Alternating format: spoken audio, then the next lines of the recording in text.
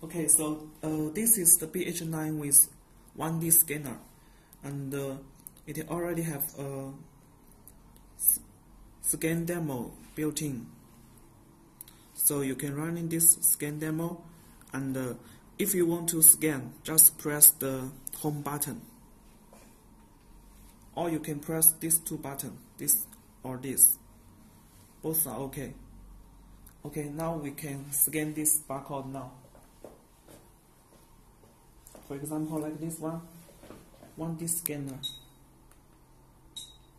So you can see it can scan the barcode and get the result.